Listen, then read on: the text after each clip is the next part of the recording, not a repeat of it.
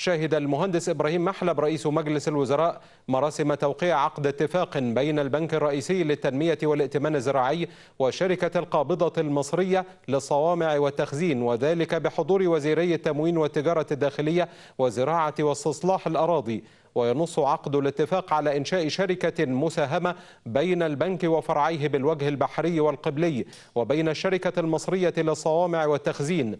ويهدف الاتفاق إلى استغلال الأراضي التي يملكها البنك والمخصصة كشون زراعية لتخزين الأقماح والحبوب على مستوى الجمهورية بما يسهم في تطوير الشون وبناء العديد من وحدات التخزين الحديثة.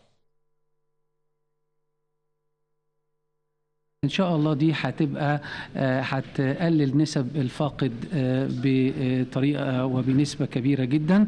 بالإضافة إلى إنها هتكون نواة بعد كده لعملية خلق نظام جديد يعود بالنفع في النهاية على المزارع الصغير اللي إن شاء الله هيجد كل تعاون وسرعة في دفع المقابل النقدي للسلع اللي هيتم يتم توريدها. أفرزت الدراسات اللي قامت بها وزارة التموين إلى الحاجة إلى التغيير الهيكلي في منظومة التخزين ليس فقط بتطوير ولكن بإنشاء صوامع والوصول إلى الفلاح بإنشاء الشون المتطوير الشون لتصبح الكيانات التخزينية أفضل وأحسن لتقديم الفلاح أفضل لتقديم أفضل منتج لأفضل شعب.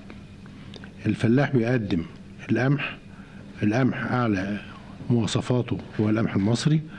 ونتطور بقى ونخزن القمح في أماكن تحافظ عليه من التلف والفقد والسلوك الحشري وكل العوامل تؤدي إلى الفقد وإلى فقد ليس فقط فقد كمي ولكن فقد في المواصفات به